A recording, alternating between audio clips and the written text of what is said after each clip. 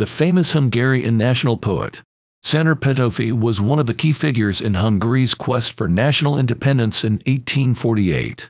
His composition Nemzeti Dal inspired a revolution in the Kingdom of Hungary that developed into a war for independence from the Austrian Empire. Petőfi has a famous poem, Hope, that reads, Man, what is hope? A horrifying brothel girl, who doles to everyone the same embrace. You waste on her your most precious possession, your youth, and then she leaves without a trace.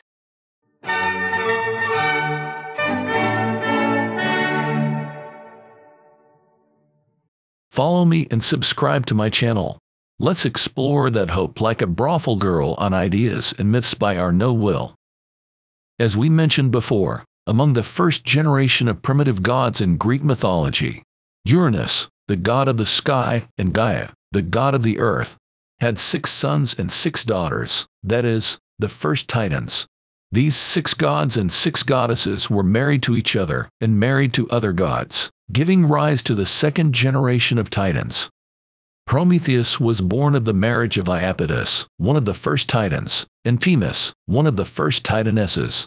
Themis was also the second wife of Zeus. And Themis' husband, Prometheus' father Iapetus, was in turn the elder brother of Zeus' father Cronos. Iapetus is usually very calm, as calm as the setting sun. He specialized in fighting with spears and was known as the piercer.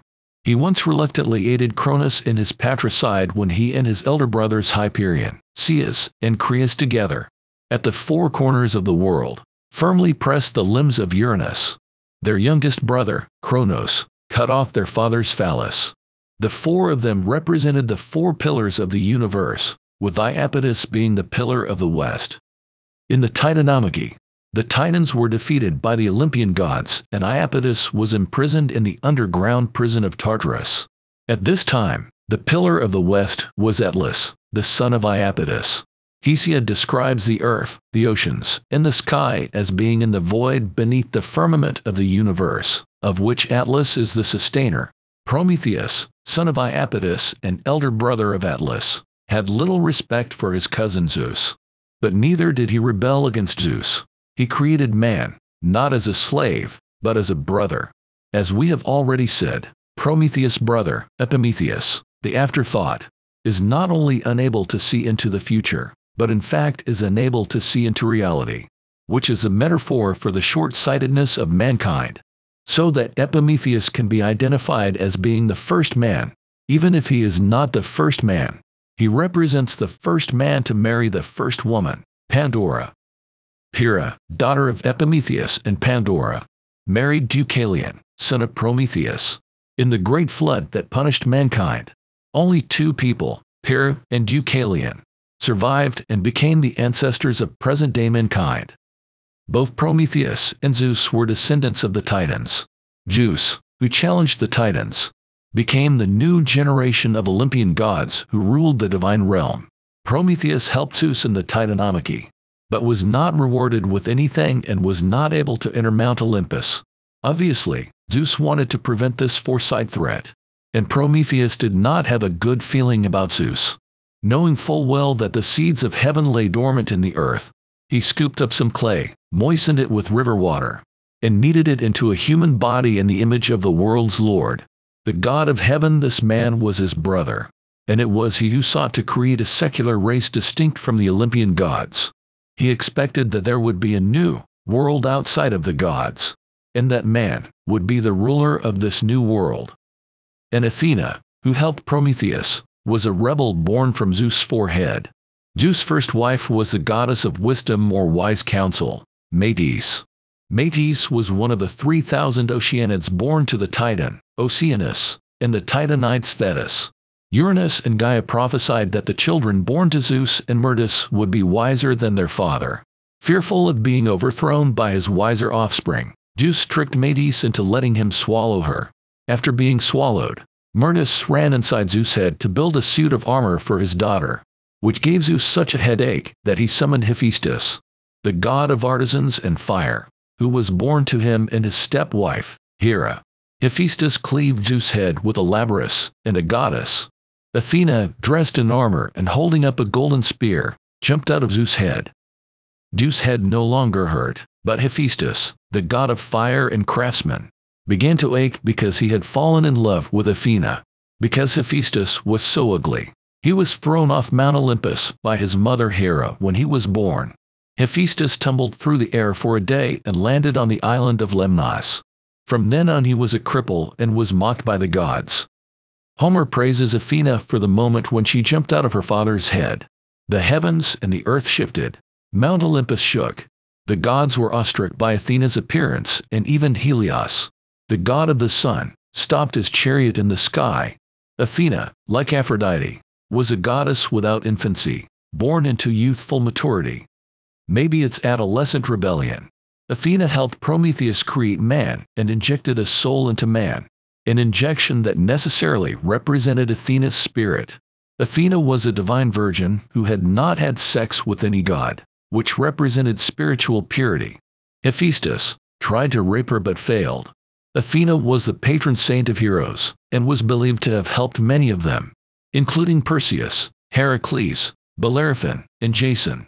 The ancient Greek philosopher Plato wrote in Cratylus that That is a graver matter, and there, my friend, the modern interpreters of Homer may, I think, assist in explaining the view of the ancients. Most of these, in their explanations of the poet, assert that he meant by Athena mind and intelligence, and the maker of names appears to have had a singular notion about her, and indeed calls her by a still higher title, divine intelligence, as though he would say, This is she who has the mind of God. Perhaps, however, the name Theonoe may mean she who knows divine things better than others.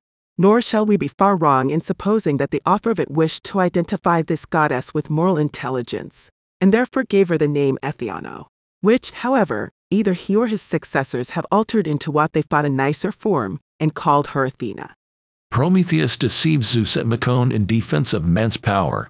Like all foolish dictators, Zeus advertises that he is omnipotent has seen it all, and deliberately chooses the pile of oxen's bones. But instead of taking responsibility for his willfulness, he chooses to punish people. The trick at Mecone is the first transaction between man and God. The trick at Mecone is also a metaphor for man's rebellion against the gods from his very birth. And Zeus' disgust for man and all the punishments that followed were the means by which God controlled man. It is God's refusal to recognize man's separate place in the world. Epimetheus was the human incarnation who took Pandora as his wife. To celebrate their wedding, the gods sent numerous gifts. Of all the gifts, the most striking was an ornately decorated pithos Pandora's box. The box was a gift from Zeus. Because Prometheus had instructed his brother not to accept any gifts from Zeus, Epimetheus did not open the box. One day when Epimetheus was out, Pandora was home alone. She was given to curiosity by Hera, so she could not resist the temptation to open the box.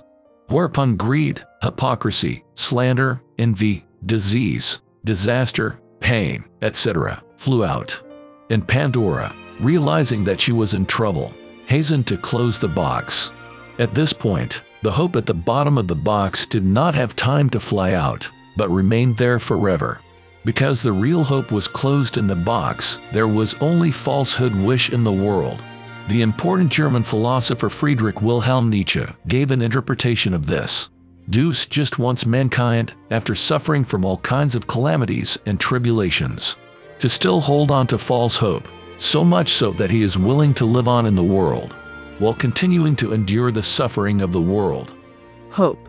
Pandora brought the jar with the evils and opened it. It was the god's gift to man. On the outside, a beautiful, enticing gift called the lucky jar. Then all the evils, those lively, winged beings, flew out of it. Since that time, they roam around and do harm to men by day and night. One single evil had not yet slipped out of the jar. As Zeus had wished, Pandora slammed the top down and it remained inside. So now man has the lucky jar in his house forever and thanks the world of the treasure. It is at his service. He reaches for it when he fancies it, for he does not know that the jar which Pandora brought was the jar of evils. And he takes the remaining evil for the greatest worldly good, it is hope, for Zeus did not want man to throw his life away, no matter how much the other evils might torment him. but rather to go on letting himself be tormented anew. To that end, he gives man hope. In truth, it is the most evil of evils because it prolongs man's torment. When mankind had fire, mankind could be free of the gods and live in the earthly world under Mount Olympus as a parallel universe to the divine realm. But Zeus passed on all the suffering to the world. From then on, the war between mankind and the gods began a war to resist the curse of Zeus, to fight against suffering, and to hopefully overcome the fate imposed by the gods. Typical of Greek mythology is man's challenge to fate. Fate is what the gods have ordained, what the gods have punished man for. And while mankind has always been unable to resist fate, earthly heroes have never been willing to accept the fate set by the gods. The battle of fate is the hero's rebellion against the gods. Moirai is the collective name of the three goddesses of fate and destiny in Greek mythology. Legend has it that within three days of a baby's birth, the three Moirai will appear together to decide the baby's fate. The youngest sister Clotho, whose name means spinner, she spun the thread of human life. Her second sister, Lachesis, was responsible for drawing out the thread of life, and her eldest sister, Atropos, was responsible for cutting it. The second sister, Lachesis, whose name means to be obtained by lot, by fate, or by the will of the gods, she measured the life length of the thread spun on the spindle of her sister Clotho. The eldest sister, Atropos, literally means inevitable, unavoidable. She ends the lives of mortals by cutting their lifelines. The three goddesses manage the threads of a person's destiny through weaving. Clotho, representing the future, weaves the threads of a person's life. The second sister, Lachesis, representing the present, measures and is responsible for the threads of life. And Atropos, representing the past, cuts the threads of life. It is Moirai's duty to, to ensure that everyone, mortal and divine alike, lives their lives according to the destiny given to them by the laws of the universe. For mortals, this destiny runs throughout their lives, like thread spun from a spindle. Moirai, as the enforcers of fate and destiny, are even considered to be above the gods. And although Zeus himself is subject to fate, as king of the gods, Zeus is able to command them. The three Moirai are the daughters of the first primordial goddess Nyx, conceived alone and without a father. They are also the sisters of Keres, female death spirits. Thanatos, die, am dying. And Nemesis, the goddess of Rhamnus, who personified retribution for the sin of hubris. Ananke is the god of inevitability, compulsion, and necessity in Greek mythology, portrayed as a goddess with a spindle. In Roman mythology, her name was Necessitas, and she was only portrayed in literature and not worshipped. The English word necessity is derived from this deity. Plato, in the Republic, considered her to be the mother of the Moirai. Destiny is really the result of necessity and planning. In order to rule over man, God needs to run the world on the track of necessity through planning, while man is free to rebel against divinity and bring the world into the change of chance thus creating infinite possibilities for the future through evolution. Man's reverence for God represents the desire for order that exists in man's reason. Man's rebellion against God represents man's desire for freedom. Man's, representing freedom, belief in and resistance to God, the bondage, domination, is the contradiction between the desire for order and the choice of freedom. This contradiction has led to the constant confrontation in human society between equality and freedom, plan and market, dictatorship and republic, which constitutes the historical root of almost all the contradictory developments in human society, and to the constant swinging of the social order and the rights of the individual on the scales of humanity. To date, there is no end in sight to this confrontation. The confrontation between man and God, always with fewer victories and more defeats has given rise to a particularly important concept in human values destiny. Back to the beginning of this article, on July 31, 1849, at Segesvár, in present-day Romania, the Russian Imperial Fifth Army, commanded by General Alexander von Luders, fought the Battle of Segesvár against the Hungarian Revolutionary Army, commanded by Joseph Zachariasz Bem. who was fighting for freedom and independence. As adjutant of Lieutenant General Bem, Petőfi returned to the army shortly before the battle. When in civilian clothes and unarmed, he went on foot from the battlefield to Hejisfalva, where he was probably killed by the Cossacks when he was last seen. The battle resulted in a victory for the Russians, who suppressed the independence movement. After the battle, a Russian army doctor recorded in his diary the death of Petőfi, which should have been the best place for a heroic poet. But Petőfi's body was never officially found. At the end of the 1980s, Soviet investigators discovered archives showing that some 1,800 Hungarian prisoners of war had been taken to Siberia after the battle. In 1990, an expedition traveled to Barguzin in Buryatia, Siberia, where archaeologists claim to have found the skeleton of Petőfi. There are also rumors that Petőfi did not die, but only lost his faith in life, his revolutionary passion, and his enthusiasm for poetry, and let loose in the world. Mór Jókai, a friend of Petőfi, and novelist, dramatist, and revolutionary who led the Hungarian Revolution of 1848, included this episode in his novel Political Fashion. A proverb is still circulating in Hungary. Belton mint pedofia Kodbin disappeared like pedophia in the fog. Follow me and subscribe to my channel. Let's unravel the dark ages behind the world of myths, an idea and myths by Arno Will.